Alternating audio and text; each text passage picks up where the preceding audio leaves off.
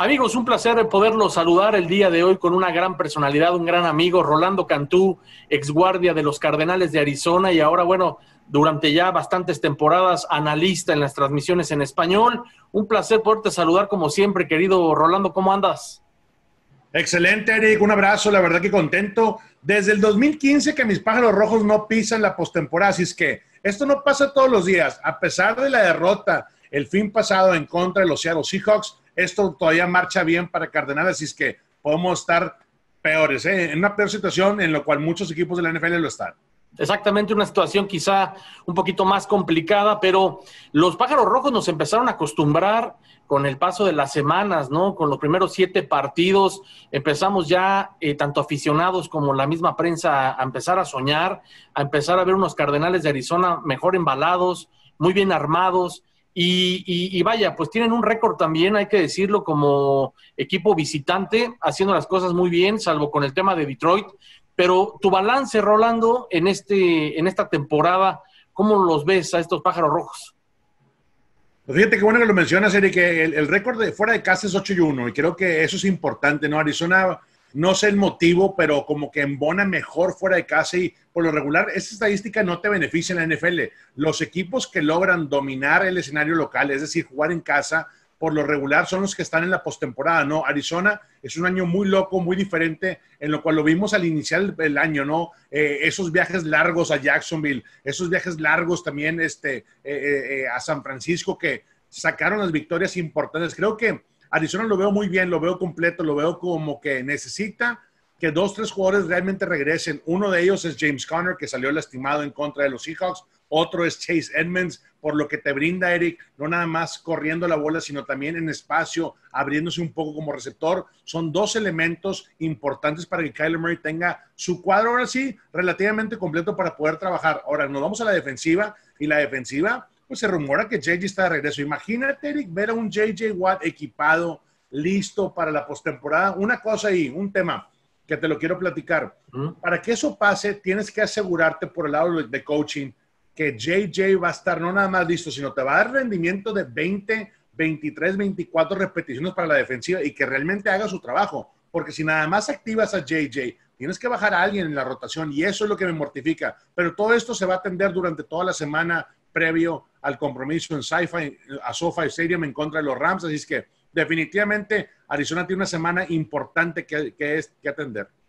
Sí, y fíjate que eh, Cardenales haciendo un muy buen trabajo con el paso de las semanas, de repente apareció la lesión de Kyle Moore en el tobillo, por ahí también la lesión de, de Andre Hopkins, que bueno, pues fue eh, un tema complicado también para los pájaros rojos. A esto súmale lo de JJ Watt, que también estuvo fuera de circulación y que apenas la semana pasada, como mencionas, ya lo pusieron eh, o ya salió, mejor dicho, del taller de reparaciones. Así es que eh, habrá que ver porque nos empezaron a acostumbrar a ver un equipo completo, sano. Y ojalá que ya estas instancias, pues bueno, pues podamos ver al equipo pues eh, completo, ¿no? ¿Qué onda? ¿Qué pasa con, con DeAndre Hopkins, Rolando? ¿Qué está sucediendo con él? Pues te estoy muy honesto, creo que va a ser como que un tipo long shot, ¿no? Algo eh, increíble para que en su rehabilitación pase, para que él pueda regresar. Y si, si estamos hablando de tiempos, te la pongo así, Eric. Creo que si pasamos al Super Bowl, posiblemente DeAndre Hopkins tenga la oportunidad de regresar con el equipo, pero no estamos contando con él, estamos contando con los que están ahí. Y alguien de lo cual te quiero platicar es Antoine Wesley, que en el juego en contra de los Cowboys de Dallas, en contra de Vaqueros, hizo un gran trabajo anotando dos touchdowns. Es alguien que viene eh, en desarrollo por el lado de Kingsbury, que tiene muy buena química con Kyler Murray, y creo que no lo utilizamos bien en contra de los Seahawks estando en casa. Él tiene que jugar mejor, lo tienen que meter al plan de juego. AJ Green, tú lo viste, tú estuviste ahí este, eh, eh, cubriendo el partido en cuatro ocasiones no atrapó la bola y le pegaron en el pecho y otros le pegaron en los guantes. Esas son jugadas que te cambian el partido, que te dan primeros y dieces y que eventualmente meten en una mejor situación a Kyler Murray, menos presión. Entonces, creo que el cuadro de receptores, también incluyendo a Christian Kirk, tienen que levantar un poquito más este, su ritmo y su juego. No está DeAndre Hopkins, no vamos a contar con él en la semana de Wildcard, en la semana de comodines. Así es que si es que DeAndre Hopkins esté listo, posiblemente ya estemos hablando en la semana previa al Super Bowl. Fíjate que me gustaron mucho las declaraciones de Kyle Moore en el que menciona en el que a partir de ahora es como un borrón y cuenta nueva. Y eso a mí me gusta mucho también porque es como quitarle un poco de presión o, mucha presión a sus jugadores precisamente por lo que mencionas, ¿no? Que no salieron quizá atinados, que había pases que les ponían en los números, eh, balones que se les iban. Entonces es un mensaje de un líder, de un chavo que también pues lleva muy poco tiempo en la NFL, pero eh, ha logrado muchas cosas y le está dando un mensaje a sus compañeros, hey, vamos a hacer las cosas bien a partir de este próximo lunes eh, es un borrón de cuenta nueva y vamos a seguir avanzando poco a poco, partido a partido, para poder llegar al supertazón, ¿no? Me encanta, sí, esa, filosofía y la mentalidad de Kyler Murray, tú lo has dicho, en tres años, el desarrollo perfecto, eh, le apostó a la franquicia de Cardenales en draftearlo, en seleccionarlo en el draft hace tres años, también apostamos eh, en, la estrategia de Coach Kingsbury, pero definitivamente algo que tiene que pasar para que Kyler Murray tenga tiempo para escanear bien su terreno de juego este, y conectarse con los receptores en el juego aéreo es una línea ofensiva en la, en la cual no jugó bien este fin pasado en contra de los Seattle Seahawks. Borrón y cuenta nueva, como tú lo has dicho, y también lo dijo Kyler Murray. Necesita jugar mejor el lado izquierdo. DJ Humphries no puede este, dejar que la penetración lo gane, le gane, no sé, el, el 25 30% de cada repetición defendiendo el pase. También Justin Pugh tuvo un mal partido. Creo que el lado derecho estamos muy sólidos, Eric. Vi, eh, me aventé el juego otra vez anoche. Vi a un Randy Hudson increíble en la posición de centro. Me gustó mucho el desempeño de Max García, que ha sido como que esa pieza de comodín, lo meten, lo sacan, lo meten en centro cuando ocupan este, un respaldo. También el guardia derecho ha funcionado. Y Josh Jones, el, el Josh Jones que estaba de guardia derecho, lo, lo pasaron. Este, a, la posición de, de, tackle derecho, pero en esta ocasión en contra de Seahawks regresó Kelvin Beecham. Beecham. Entonces, hay mucha profundidad dentro de esta línea ofensiva y ellos tienen que jugar mejor, jugando mejor en contra de una línea bastante agresiva como la presenta los Rams, tiene que funcionar y empieza con ese ritmo y empieza con esa identidad eh, en las trincheras, Eric. Creo que el correrle hacia el lado de eh, eh, Aaron Donald tiene que ser primordial para la línea ofensiva, porque si recuerdas el primer encuentro cuando fuimos a Los Ángeles, atacaron el sector de, de Aaron Donald y por ahí como que se frustró un poco y empezaron a bloquear esos bloqueos combo que se llaman deuce combo, trabajando hacia el linebacker y, esa eh, energía y esa presión constante que le pusieron a Aaron Donald fue lo que neutralizó el sector derecho y el sector izquierdo. Cuando se alinea internamente técnica 3 sobre el hombro externo del guardia, tienes que ir por Aaron Donald, cosa que no pasó tanto en el segundo encuentro estando en casa. Lo dejaron un poquito más suelto, más libre y fíjate todo lo que nos generó, nos generó mucha presión eh, interna y eso puso un aprieto serio a Kyler Murray. Kyler Murray va a jugar tan, bien como juegue su línea ofensiva. Tienen que proteger mejor, tienen que correr este, la bola y con eso creo que vamos a tener un buen plan de juego. Fíjate que a ese punto yo quería llegar en una temporada muy joven, fue cuando Arizona se fue a meter al SoFi Stadium eh, sin temor, llegaron con mucha garra, se fajaron, eh, ya saben, ya conocen esa aduana, ya conocen ese estadio, ya conocen al público, que van a estar haciendo demasiado ruido para tratar de, sacarlos de ritmo, pero bueno, Arizona ya, ya sabe, ya se han enfrentado también, después tuvieron el descalabro aquí en casa, pero no son eh, ningunos eh, desconocidos porque además, bueno, pertenecen a la misma división, pero a lo que voy es que Arizona, con sus sesiones de video, con las pláticas de coach Kingsbury y demás, pues van a poder llegar con todo el próximo lunes, ¿no? Oh, sin duda, yo creo que el borrón y cuenta nueva como que a todo mundo, eh, pues ahora sí que empiezas de cero. Acuérdate una cosa, tú cubriste esta temporada mágica el 2008, que nos fuimos a la postemporada en el 2009 eh, con la marca de 9 y 7, el peor equipo en la historia de entrar a la postemporada y fíjate lo que pasó. La magia de Kurt Warner se prendió en el momento preciso, Larry Fitzgerald y todos los demás. Creo que esa fue lo que realmente nos cambió la identidad del equipo y, es el equipo, Eric. Y si este equipo de Kyler Murray llega, uno, sano, y dos, con un plan de juego, que te voy a ser sincero, la serie está uno y uno, una vez ganamos en Los Ángeles, ellos vinieron y, este, y nos reventaron acá en el desierto, pero creo que esta tercera oportunidad que tenemos de viajar otra vez y en el camino que le beneficia a Cardenales, no sé por qué, pero todo lo manejan distinto cuando están viajando en el camino creo que va a ser una receta perfecta para que esto empiece otra vez. Kyler Murray ya lo dijo, no importa el récord que tuvimos en la temporada regular, eso tíralo por la ventana, necesitamos concentrarnos y enfocarnos en lo que hacemos durante la semana. El enfoque está brutal ahorita allá en Dignity Health Training Facility en Tempe, con este, los entrenamientos, con el escauteo, con también la instalación que, va, a implementar el equipo. Y otra cosa, Eric, a beneficio en esta primera ronda, que no hemos estado platicando, es el lunes, es el Monday Night. Tienes un día y medio extra para sanar el cuerpo, para enfocarte bien mentalmente. Y otra cosa, va a estar viendo los partidos del fin de semana, así es que va a haber mucha motivación para que esto se traspase en el campo para los Cardenales viajando a Los Ángeles el fin de semana. Sí, por supuesto, y tú como jugador lo sabes, ¿no? E, ese día extra les das eh, mucha ventaja y además que es sábado y domingo, donde el equipo puede ver también el resto de los partidos, ver cómo se están acomodando las cosas, pues bueno, le beneficia a Arizona. El domingo tuvimos la oportunidad de platicar cómo se estaban eh, manejando y moviendo los marcadores. Eh, tuvimos una, una charla rápida en el que quizá esperábamos que Arizona se fuera a enfrentar con los Vaqueros de Dallas. tu opinión, ¿qué, qué ¿Te gusta que sea el rival los Rams de Los Ángeles o te hubiera gustado más Dallas también por, el antecedente y porque quizá Arizona ya le tenía tomada la medida, Rolando?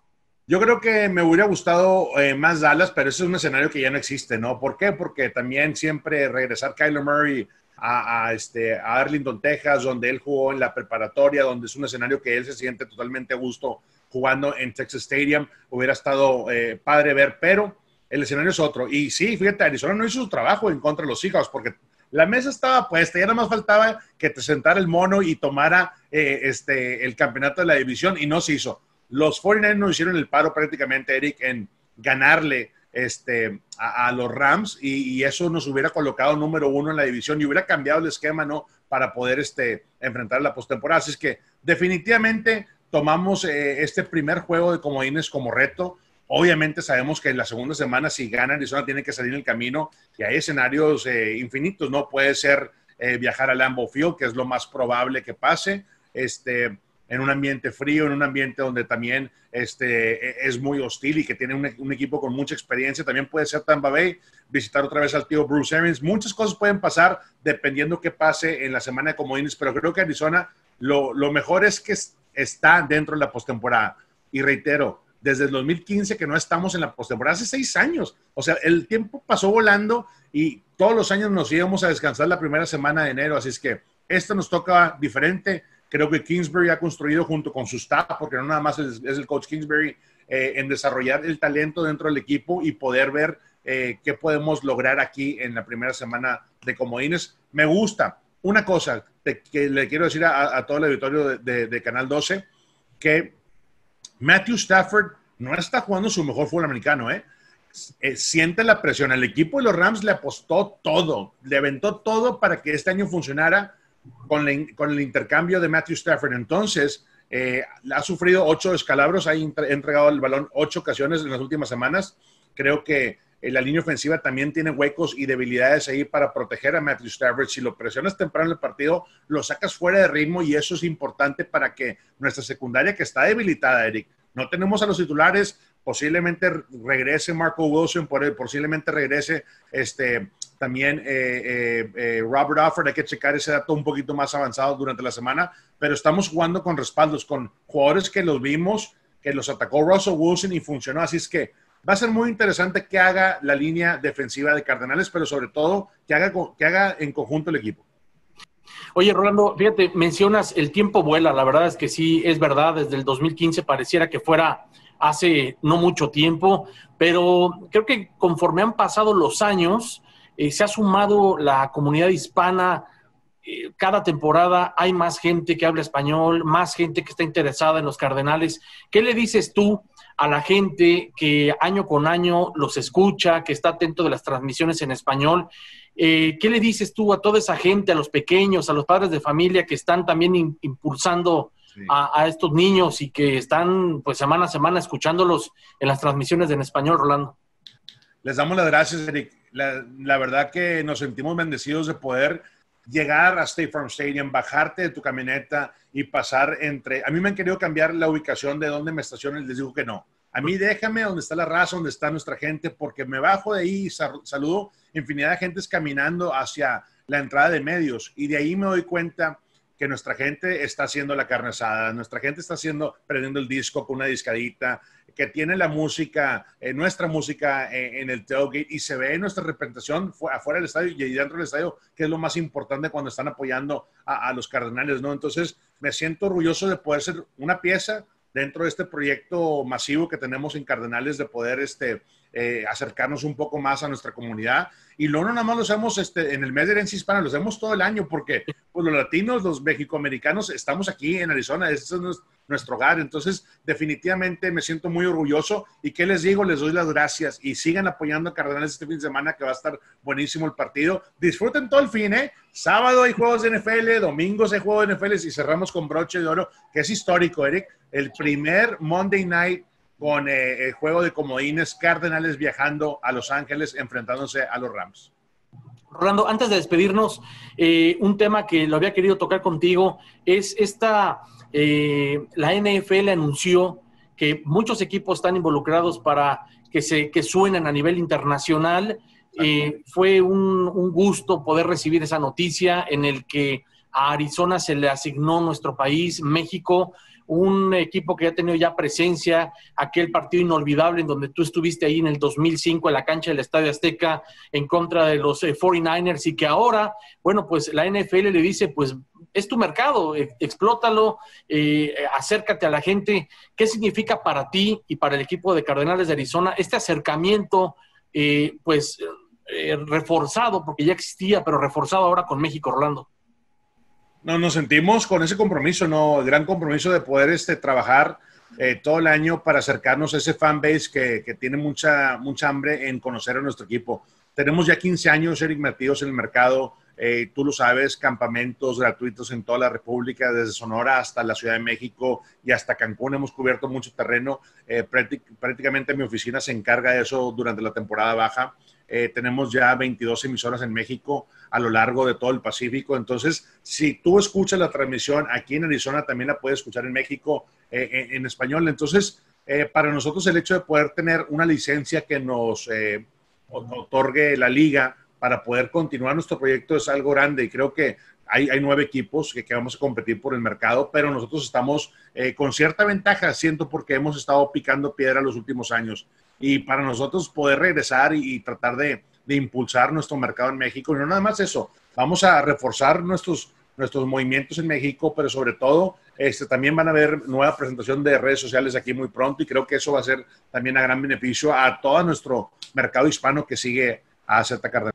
Perfecto, Rolando, pues este, muchísimas gracias. Te quiero felicitar de veras por la labor que hacen con la comunidad, por la, la labor también de las transmisiones en español a lo largo ya de bastantes temporadas en las que hemos podido eh, compartir incluso micrófonos, eh, recordar aquella temporada, esa época romántica del 2008 cuando llegó eh, Arizona al Super Bowl. Ojalá, ojalá que se pueda repetir algo así y muchísima suerte para ti, para toda la organización, para este próximo domingo de lunes por la noche en contra de los Rams de Los Ángeles, Rolando. Gracias, Eric. Que disfrutes el fin de semana y go Cardinals. Gracias, Rolando Cantú, voz en español de los Cardenales de Arizona, aquí a través de 12 News Deportes.